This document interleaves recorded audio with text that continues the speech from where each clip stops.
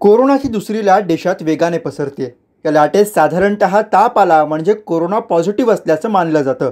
युवकांच्या बाबतीत ही बाब बऱ्याच अंशी खरी ठरली आहे तर वृद्ध व्यक्तींबाबत काही वेगळा रिपोर्ट समोर आला आहे नव्या संशोधनानुसार वृद्धांना कोरोना असल्यावर ताप येईलच असं नाही. मग वृद्धांमध्ये कोविड नाईन्टीन संक्रमण कसं ओळखायचं? तर या प्रश्नाचं उत्तर म्हणजे पल्स ऑक्सिमीटरचा वापर करून वारंवार त्यांची ऑक्सिजन पातळी तपासायला हवी.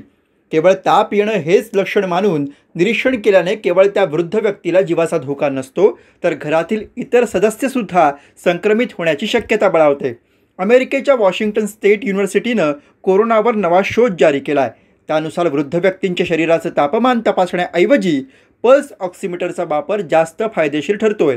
हा report medical journal frontiers in मेडिसिनमध्ये प्रकाशित झाला आहे हा रिपोर्ट वॉशिंग्टन स्टेट युनिव्हर्सिटीचे कॅथरीन वानसोन आणि डेबोरा इती यांनी तयार केला आहे नव्या रिपोर्टनुसार गंभीररित्या कोरोना संक्रमित असलेल्या तीस टक्के वृद्धांमध्ये ताप आढळला नाही किंवा कमी ताप आढळला. पण त्यांच्यात कोरोनाची अन्य लक्षणं जसं की थकवा अंगदुखी वास घेण्याची क्षमता कमी होणं ही लक्षणं आढळली.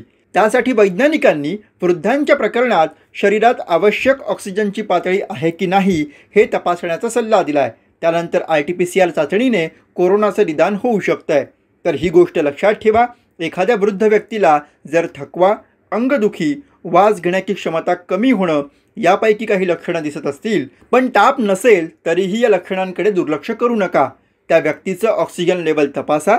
ऑक्सिजन सॅच्युरेशन त्र्याण्णवच्या खाली आढळल्यास ही धोक्याची घंटा समजा आणि त्वरित डॉक्टरांचा सल्ला घ्या.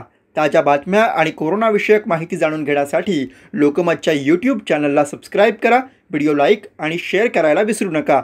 व्हिडिओ पाहिल्याबद्दल धन्यवाद.